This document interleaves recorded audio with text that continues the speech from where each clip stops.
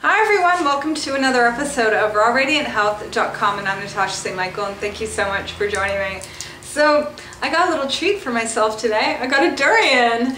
I and it's a fresh durian. It's from Thailand. It's um, here in Montreal we can actually get fresh durian, not frozen durian, but like fresh off the plane pretty much. and it, it is a big treat. It's a huge investment. I'd say a durian would cost as much as going to a restaurant having like three course meals. but we had durian this morning in the park and it was fantastic and I just thought I'd share it with you. So today what I want to actually talk about is how the raw food diet has affected my life or changed my life and has it because I get a lot of emails of people asking me sort of you know about what happens when you get on to raw foods and why is it that things start changing? A lot of people notice that that once they start sort of getting into natural health or taking more care of themselves that next thing you know what other parts of their life start changing as well. And it's really exciting, but it also can be a little bit you know, uncomfortable and it could also just be kind of weird, you know, and a lot of people wonder like, is it the raw foods that's creating these changes or is it something else? And my view is, is that when someone starts getting into raw foods, they're always at a point where they're ready for change, okay? There's something in their life that is no longer satisfactory, okay? And, and suddenly either they want to lose weight or they want to feel healthy again or they need more energy or they want to reverse a chronic health condition or they just feel sick and tired all the time and one day they wake up and they're like you know what? I hate it. I hate being in this situation. I hate being this fat or I hate being this tired. I hate being this irritable. I hate being addicted to food. And so they one day wake up and they're like I got to try something else because what I've been doing is not working.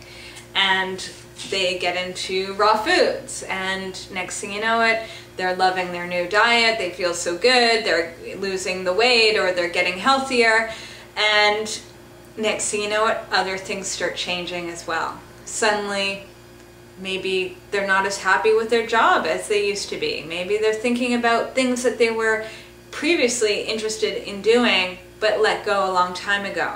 Old dreams start appearing and, and a lot of people may even start pursuing their old dreams you know in in and decide to change their job or what happens for some people is that suddenly the relationship that they were in is no longer working they're no longer feeling those same feelings that they had for their significant other or their friendships start changing. Suddenly they don't want to hang out with a certain group of friends anymore, but they want to make new friends or, you know, things start changing. And is it the raw food diet that's creating these changes? Well, my view is, is that it's not necessarily the diet that's making these changes, is that it's more that you're just at a point where you start taking care of yourself. You're at a point where you start looking at your life and realizing that you're solely responsible for your happiness and for your health and for your well-being. That it, it's all yours. It's all in the palm of your hands. And what ends up happening is, is that you might get onto raw foods because you just wake up one day and realize that, that you know, you want to live a better life. And so by getting onto the raw foods, you, you get the ball rolling, okay? And, and suddenly, it's like you've added this like one drop of like you know self-respect into your life and suddenly that expands because the more good food you put into your life that means that you're taking action into respecting yourself loving yourself nourishing yourself looking out for yourself a lot of people go through their entire lives where they're doing the exact opposite. They're destructing themselves. They're disrespecting themselves. They're not appreciating themselves. They hate themselves. And they do everything to sort of reflect that. But the moment that you start doing things to actually take care of yourself, your your that self-love and that self-respect is growing. Okay, and it's doing it naturally. It's not something that you have to like mentally think about and, and you know like create. It's something that just organically happens. And so what ends up happening is is that once you get into that that rhythm or that path of taking care of yourself and honoring yourself and loving yourself and respecting yourself, then those things that you were doing previously that were sort of the opposite, that were maybe self-destructive or weren't necessarily really respecting yourself, you no longer want to do those things or you no longer want to be around people that represent that or that, you know, it, it's like, it just no longer sort of fits. And so that's why people start seeing that, you know, the job that they once really liked or the job that they were once doing and, you know, to pay the bills, they, they no longer want to be doing it because they want to be doing more with their life. They want to be using their talents. They want to take the risks. They want to start living again. and so this happens with the job. It happens a lot with relationships as well, that it's like suddenly, you know, the, the relationship that you were in and the things you were doing together, you know, it's no longer, it's no longer you, you know, and, and you want to do more and you want to do things that are supporting and value creating rather than things that, that could be destructive. So, you know, relationships change, friendships change, jobs change, even where someone's living can change. I mean, everything. Their whole life can be just turned upside down. And a lot of times they're like, whoa, is, you know, did the raw food diet do this to me? And it's like, well, no, the raw food diet was just one of those things that you changed because you got to a point where you, you saw this like little glimmer of of self-respect, of, of, of hope, of wanting to cherish your life. And so you took those steps in order to do that. And then next thing you know it, the things that don't sort of match up with that, they're either going to disintegrate or they're going to need to change. And so that's why people go through big life changes. I myself went huge life change. Like, you know, three years ago when I came back from living in Australia and Bali for two years, I mean, I came back and like you know, everything, my whole life was turned upside down and changed to the better. Even though it was, I'd say at that time, it was maybe a little bit uncomfortable, but I was at that point when I got off that plane and arrived in Canada, I was just like, things have got to change and they got to change now. And for me, I ended up changing, you know, my, my diet, right? I got into raw foods. I changed my career. I went from working as an artist. I made sculpture for a living for 10 years and you know it was a very isolating career and profession. It was a difficult one.